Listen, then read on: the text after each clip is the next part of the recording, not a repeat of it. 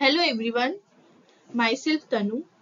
As we can see on screen, today I will describe about Fayol's principles of management. Before I proceed to presentation, I would like to thank my guide Aniket Sutradhar sir, who helped me in this presentation. By the end of this presentation, you will understand basic principles of managing a firm or a business. Before understanding the principles of management, we need to know meaning of management. Let's see what is the meaning of management. Management principles are the statement of fundamental truth which act as guidelines for taking managerial actions and decisions. Fayol's administrative management theory can be described as an approach to management and increasing productivity by emphasizing organizational structure and a human behavior.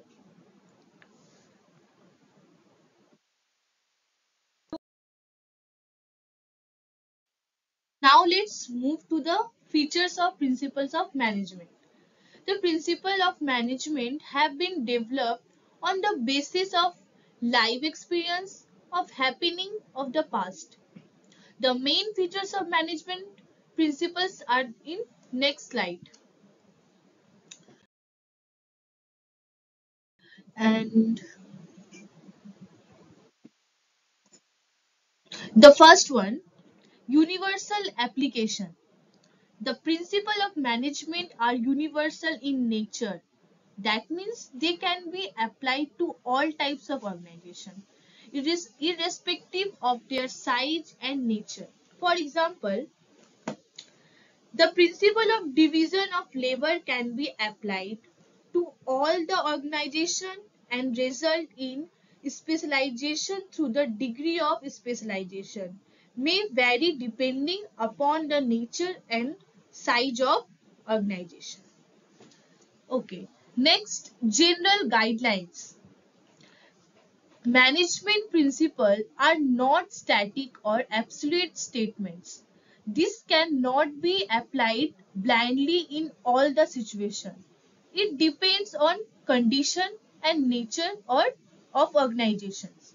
For example, the principle of fair remuneration insists on fair or adequate salary to employ, but what amount of salary is fair depend upon the nature, size and financial capacity of the company. Fair may mean rupees 50,000 per month to a multinational company and it may mean 5000 per month to a small company. So, principles do not specify the absolute amount to be paid, but there is relativity depending upon paying capacity of a different company. Okay. Next one is flexibility. Flexibility. Management principle can be applied differently under different conditions. Some changes can be made in application of principles according to the requirement of the company. These are not set on right statements. For example, the principle of centralization and insist on centration of power and authority at top level but the extent and degree of centralization may vary according to the nature of organization and centralization does not mean total centralization. There can be use of decentralization at lower level if organization demands it. For next one is and the next one is behavioral in nature. Management principles are formed to guide and influence the behavior of employee. For example, principle of discipline improves commitment of employees towards the organization and principle of esprit de corps move to behavior of employees toward the team spirit. And the last one is contingent. Management principles are contingent or depend upon the situation prevailing in organization Their application and effect depend upon the nature of organization. For example, principle of team spirit is very important for an organization where work is carried out by a group of people whereas it is of no use in the companies where work is performed by individual and not by a group.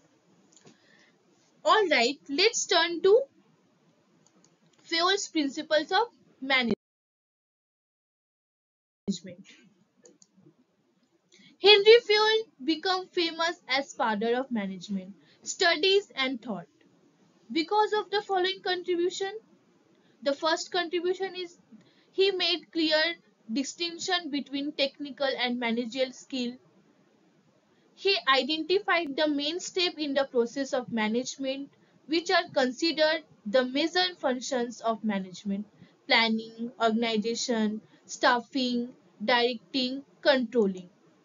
And he developed 14 principles of management which act as guideline for managers to perform managerial activities. Here the principles of management.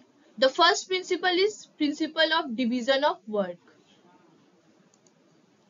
According to this principle, the whole work must be divided into small tasks or unit and instead or assign the whole work to one person on one task or unit of work should be assigned to one person according to the capability, qualification and experience of the person. For example, in a furniture manufacturing company, one person can be asked to cut the wood pieces, one to join them, one to polish, one to give finishing touch to furniture. With this division, each person will become specialized in the part of job and his effectiveness and efficiency improves. The next principle is the next one is principle of authority and responsibility. Authority means power to take decisions. Responsibility means obligation to complete the job assigned on time. According to the principle, there must be balance or parity between the authority and responsibility. For example, if a person is given responsibility to produce 100 unit, units in one week time, but he is not given authority to purchase the raw materials. If there is no raw material available in the storeroom, as a result, he could not complete the target of producing 100 units on time. The worker cannot be blamed for not completing on time because he was given only the responsibility and not the matching authority to carry on the work. Access the responsibility with less authority result in non-completion of job. Okay, now next principle of discipline. Discipline refers to general rules, regulation for systematic working in an organization. Discipline does not mean only rules and regulation, but it also means developing commitment in the employees towards organization as well as toward each other. For example, the employees must honor their commitment towards the organization by working effectively and efficiently.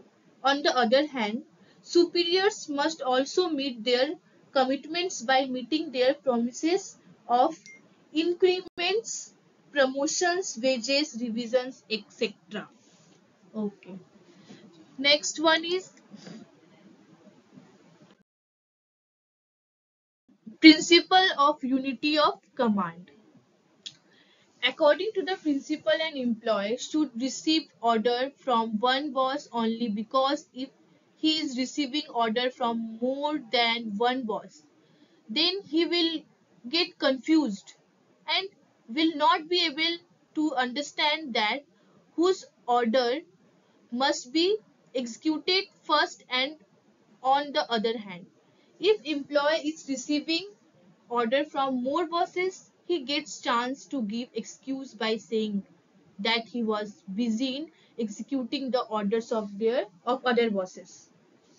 For example, if employee of production department is asked to go slow in production to maintain quality standard by the production in charge and sales in charge is instruct the employee to fasten the production to meet the pending orders.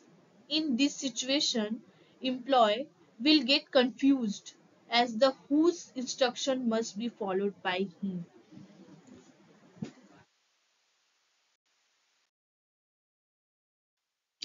Next one is unity of direction. According to the principle, one unit means one plan. That is the effort of all the members and employee of organization must be directed towards one direction that is achievement of common goal. For example, if an organization is producing different lines of product, cosmetics, medicines, etc. Items each product has its own market and its own business environment. Each division must plan its target and every employee of the division must put his efforts toward the achievement of plan of their division under the direction of one head only. Okay. The next one is subordination of individual interest to general interest. According to this principle, the interest of organization must supersede to interest of individual or employees. In the organization, all the employees are working with some objective and there is always an objective of organization. For example, if individual objectives is it on more remuneration and organization is going through the situation of financial crisis and has the objective of cutting down the expenses. In the situation, the individual must sacrifice the his interest as when organization will come out from the financial crisis then he can achieve the his objectives. Okay. Next principle principle principle of remuneration of person. According to this principle employees in the organization must be paid fairly or adequately to give them maximum satisfaction. The remuneration must be just and fair because if employees are underpaid, they will not be satisfied. And an unsatisfied person can never contribute his maximum. For example, if in a particular year the organization has earned more profit than apart from giving extra profit to shareholders and owners, some part of profit must be given to employee also in the form of bonus. This will encourage and motivate to put more efforts and increase the profit of the company. The next one is principle of centralization and decentralization. Centralization refers to concentration of authority or power in few hands at the top of level.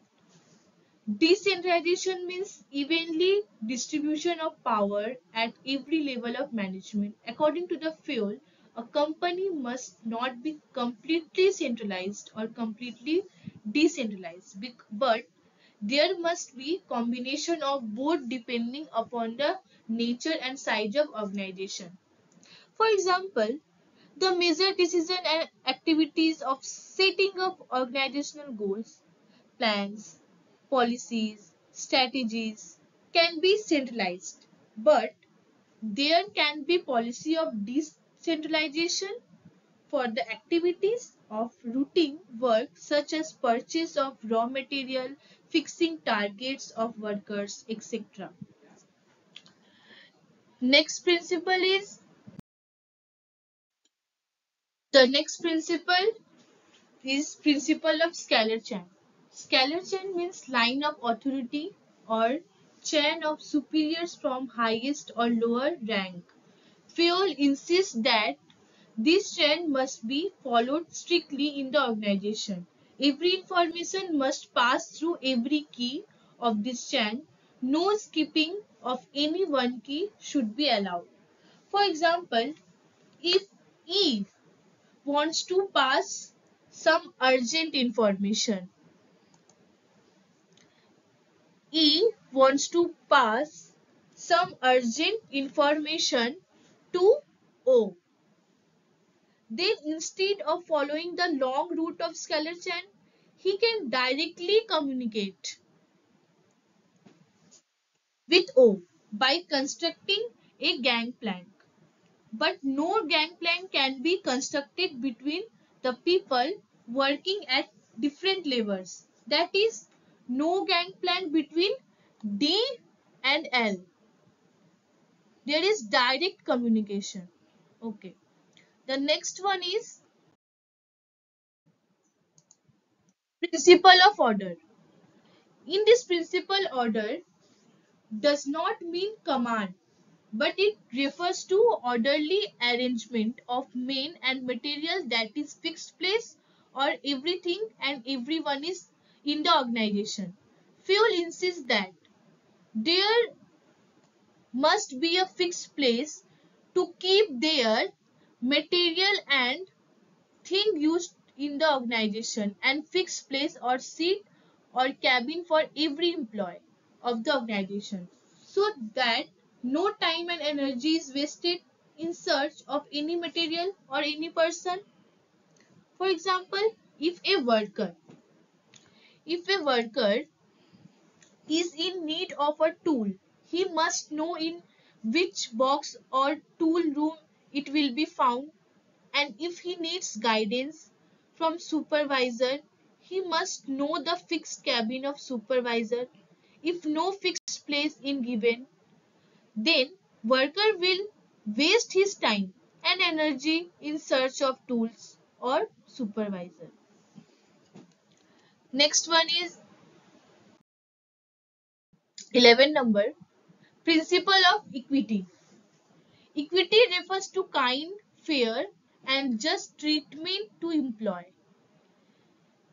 Will put employee will put their maximum effort only when they are treated with kindness and justice. For example, the rules of guaranteeing medical leaves to an employee should be same irrespective of their position, grade or gender. The 12th number stability of tenure of personnel. It is it refers to no frequent termination and transfer.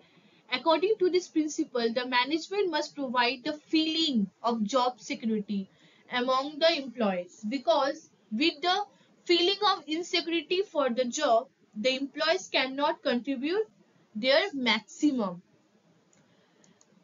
The next 13, 13 number Principle of initiative. Initiative refers to chalking out the plan and then implementing the same. Fayol suggested that employees in the organization must be given an opportunity to take some initiative in making and executing a plan. For example, before setting up of the plan, manager must welcome the suggestion and ideas of employees to allow their maximum participation but once the plan is made, every employee must follow it and implement it. And the last one is and the last one is principle of esprit de corps. Speed de corps means union is strength. Fayol emphasized on the teamwork. He suggested that every employee in the organization must consider him as a part or member of team and trying to achieve the team goal because team contribution always better than individual contribution. For example, if the production manager assign a target of manufacturing 100 units to a group of 10 members, divided the target among themselves to produce 10 units each, Principle of team spirit says that each member of the group should not concentrate only one achieving his individual target of 10 units, but they must concentrate on achieving group target of 100 units. So, if two workers of that group fall sick, then the other 8 members must divide their individual target among themselves and try to achieve the target of their group. So, let me now summarize Fayol's 14 principles of management which provide valuable insights into how organization can achieve efficiency, effectiveness and harmony. So thank you everyone.